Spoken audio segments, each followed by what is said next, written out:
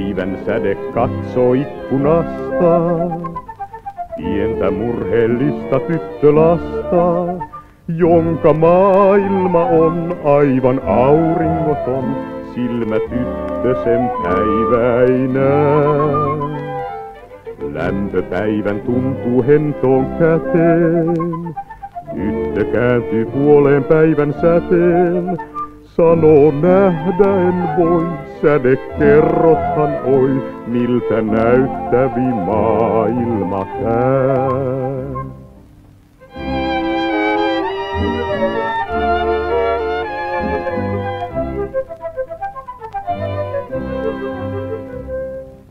Säde kertoo, nyt on aika kevään. Luonto puhkee loistoon säteilevään. Kohta kauneimmillaan ovat kukkaset maan ruoho sametin pehmoista lie.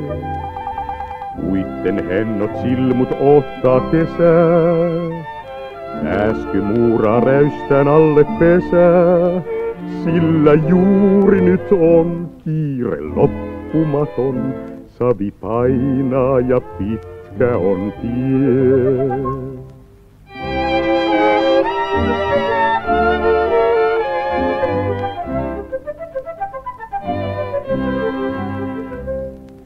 Perhon kelta väri taas on helein.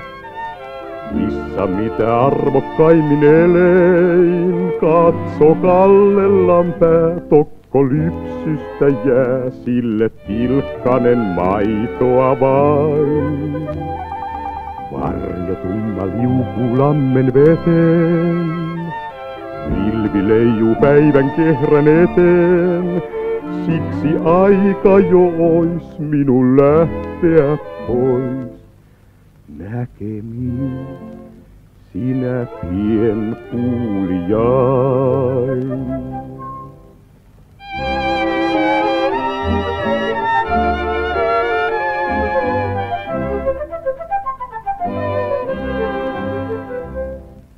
Tyttö kysyy, milloin saavut jälleen.